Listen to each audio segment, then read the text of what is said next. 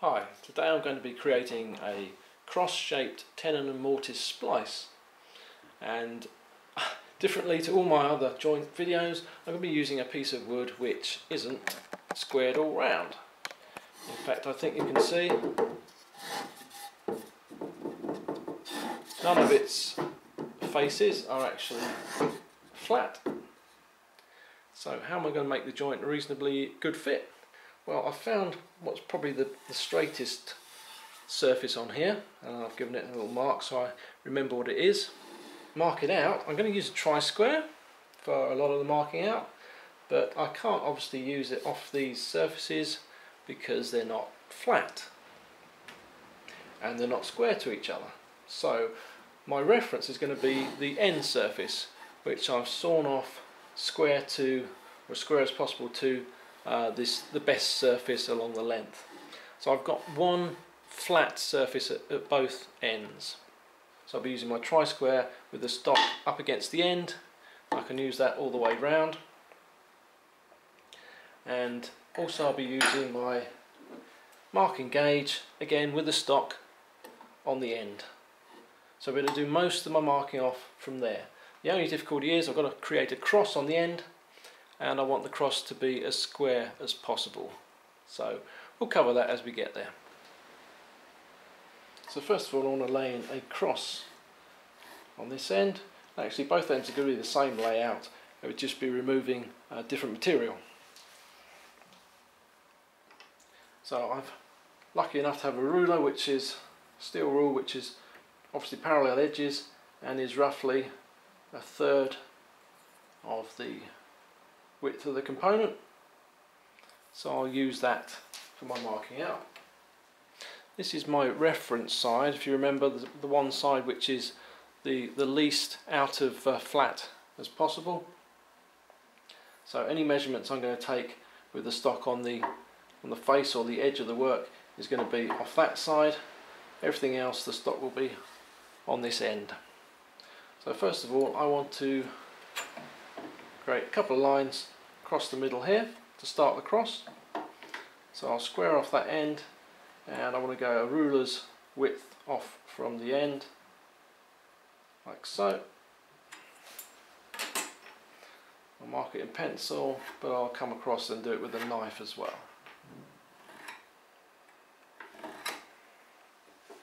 So I've got my one line in, now I need one same distance this way so about there.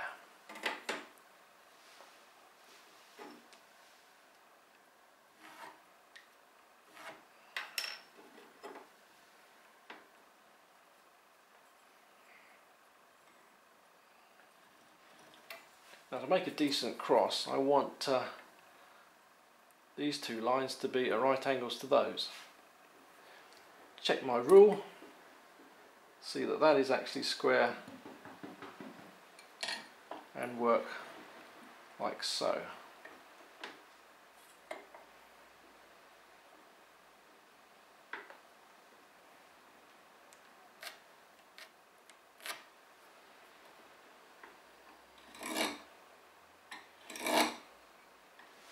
On this end I'll create the cross so I'll be removing waste from the corners and leaving the cross behind. On the other end I'll transfer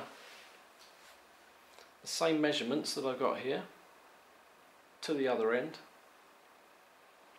and I'll be removing the cross section. How deep do I go? Well that's where the marking gauge comes in. I'm going to go roughly an inch and I know this is a flat surface so I can mark that inch all the way around using the marking gauge stock up against the end.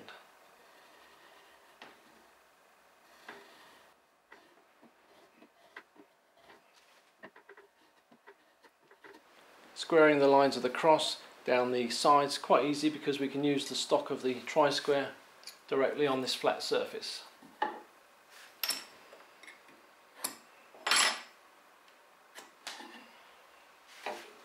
Now interestingly uh, this end of the wood has actually shrunk less than the other end So rather than just using the ruler for taking all my measurements off, I'm going to have to measure directly from here to get the points that I'm going to be putting these crosses in. So the actual cross needs to be the same width from here to here and from there to there on this end as it is on the other end.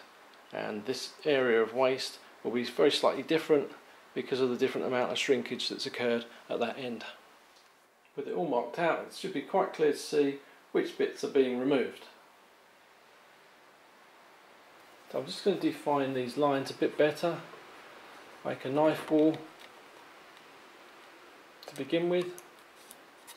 So I'm just deepening the knife lines that I made and in fact a lot of this waste is going to need to be chiseled out anyway because we're going into a, a square corner and uh, quite possibly originally Japanese would have cut these entirely with chisels. And uh, actually I might do one of the corners like that just to see whether it's any quicker or not. Once I've done that, I've done the one at the back there, come in with a saw.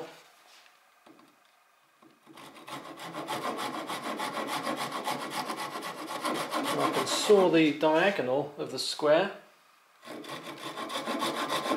sorry a cube. I'm taking a cube out and I can saw this diagonal.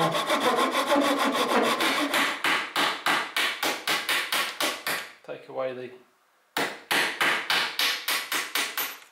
half of that cube.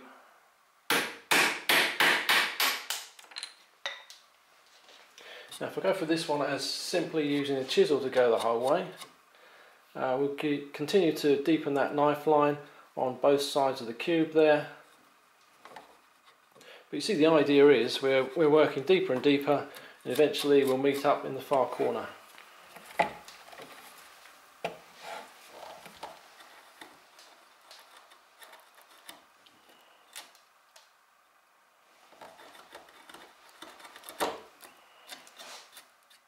So you can see that I've pared and chopped right up into the corner there, corner of the cross, and uh, now I can remove the, the rest of the waste quite easily.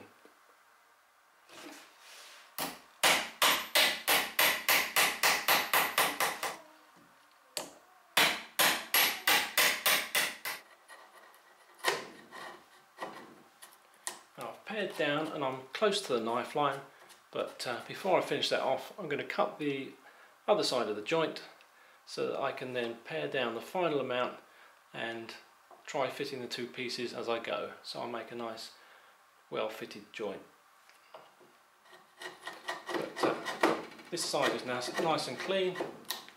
I'll just clean up this face approaching the knife line repeat for the other four and then we'll get on to the other end of the joint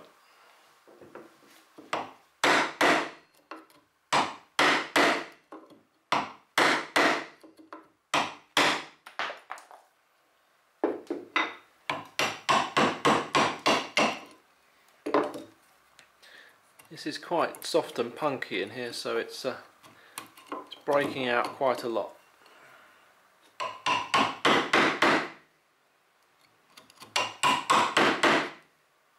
Now with both parts of the joint roughed out, one on each end, I can cut one end off and do a final fit between the two parts.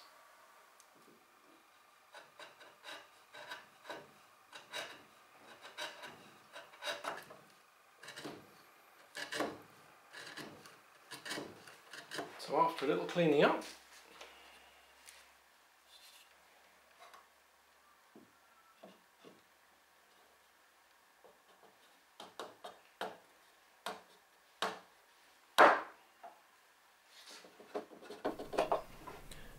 and because it's symmetrical you can rotate it and it'll go together in four different ways. The crossed mortise and tenon splice joint ideal for extending weight bearing posts. Give it a go.